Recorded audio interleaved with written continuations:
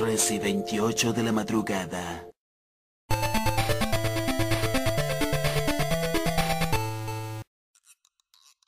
Debo admitir que si a muchos les gustó el video pasado, si te pones a pensar, más que aplaudir los juegos desarrollados por mexicanos, estuve gran parte del tiempo, criticando los juegos licenciados por Televisa, y dejé pasar muchas opciones que debieron ser reconocidas y uno que otro tropiezo, ahora, un año después, repasaremos más títulos, licenciados, o plenamente desarrollados por mexicanos, así que sin más relleno yo soy Luis Milenio y estos son, los videojuegos hechos por mexicanos, volumen 2.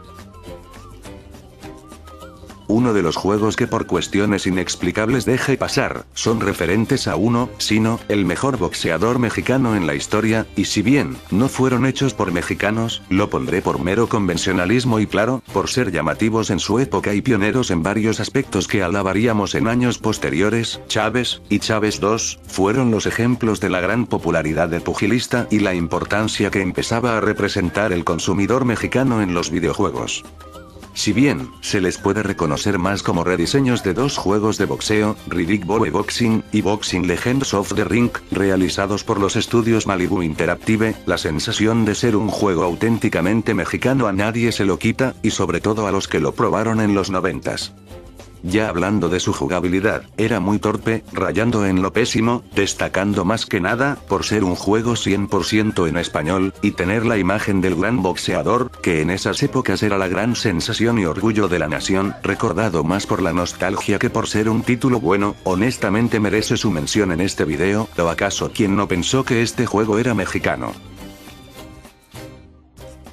Mi primera impresión sobre el juego, fue, ¿esto es creado por un mexicano? Santos cielos, donde quedaron los tacos y estereotipos de toda la vida, siendo una de las cosas que más le aplaudo, por dejarlo convencional, a favor de un juego más amigable, y sin tener cosas ya antes vistas. Kleptocars. Disponible para celulares, la mecánica es sencilla, debes ir recolectando objetos que va robando un gato, para así llenar tu apartamento, de ahí su nombre, conforme avances, las búsquedas serán más tardadas, que de no ser por su estética y minijuegos, se volvería una tortura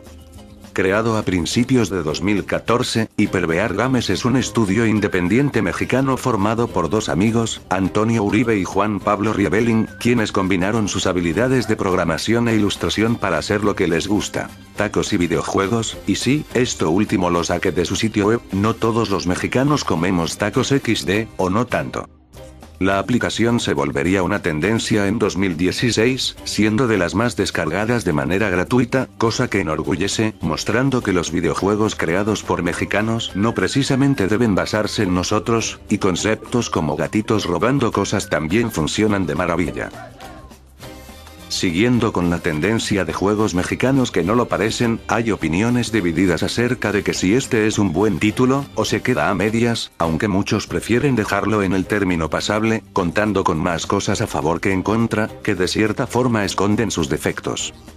Flat Kingdom, se puede describir como una hermosura gráficamente, pero a la hora de jugar es donde queda a deber, desarrollado por un estudio yucateco, llamado Fat Panda Games, lograron crear una atmósfera increíble, y si bien el estilo de plataformas se conoce de toda la vida, consiguieron llamar la atención, su principal error es su jugabilidad tosca, y en ciertos casos frustrantes que le quita méritos a este juego. Por lo general se le califica como regular, considerando que se le pudo sacar más provecho, y que si le hubieran puesto el mismo empeño que con los gráficos, estaríamos ante una genialidad, y por eso lo pongo en esta lista pues, si no es perfecto, demuestra que cada vez estamos cerca de crear cosas geniales, solo es cuestión de ir mejorando. Saben, este puesto puede quedar fácilmente como un video de, ¿te acuerdas de? Ya que su historia es sumamente interesante y muy poco hablada, de entrada, les hablaré de un juego exclusivo de Neo Geo del año del 2002, que debido a la variedad de juegos de peleas que poseían, pasó medio desapercibido, Rage of the Dragons, es la secuela espiritual y no oficial del popular Double Dragons, y sí, fue desarrollado en conjunto entre una empresa japonesa y mexicana. Al inicio se quería usar la historia de la película, pero por derechos de autor se optó por crear algo nuevo, sus críticas apuntan a un buen juego de peleas, con buenas gráficas, que debido a competir ante grandes exponentes del género, se quedó por debajo, lo interesante viene en su desarrollo. Evoga Entertainment, mejor conocido como Evolution Games, fue la empresa mexicana responsable de su desarrollo, la cual solo contó con dos juegos para la Neo Geo, Evolution Soccer en 2001 y claro, Rage of the Dragons para 2002. Muchos argumentan que fueron los primeros en desarrollar en la industria del videojuego, sin embargo, eso es cuestionable, pensando que compañías como El Pro y Novedades Electrónicas Sociedad Anónima ya trabajaban directa o indirectamente en el ocio desde los 70s. Desafortunadamente la empresa iría a la bancarrota, sin poder sacar una secuela de su último juego, y varios de sus desarrolladores se fueron a otras compañías, una lástima, pero al menos nos dejaron estos buenos juegos, que si tienes un emulador, te recomiendo jugarlos. Y por último y con las elecciones presidenciales a la vuelta de la esquina, este juego está disponible para teléfonos inteligentes desde hace un año, y si bien, no es la gran cosa gráficamente, su primicia lo hace sumamente llamativo, o acaso, ¿no quieres ver pelear al peje contra el bronco al más estilo de las arcades? Adivina, disputazo político es para ti. ¿Qué les puedo decir? Tomar la mecánica clásica de peleas, para ir avanzando niveles y ser el número uno, o en este caso, presidente de México, se combinan de maravilla, una jugabilidad sencilla pero no aburrida, y si bien, podrían agregarse más políticos, por el momento la aplicación se mantiene gracias a sus diferentes modos de juegos y una que otra actualización repentina.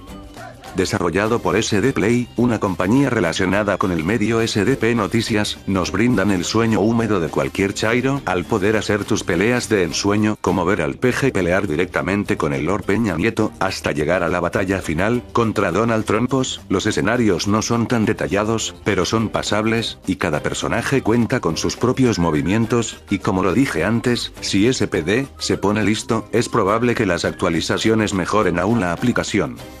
Actualmente lo juego, y de cierta manera te da una perspectiva de quienes se postularan a la presidencia, además de que, diablos pelear con el PG es genial, al menos aquí sí puede ganar XD. Y pues amigos hasta aquí el video, espero que les haya gustado, si fue así ya saben qué hacer, comenta, dale like y suscríbete a este bonito canal para que siga creciendo, síganme en las redes sociales donde contesto sus dudas y demás weas que surgen, así que sin nada más que decir, nos vemos en un próximo video, hasta la próxima, milenio fuera.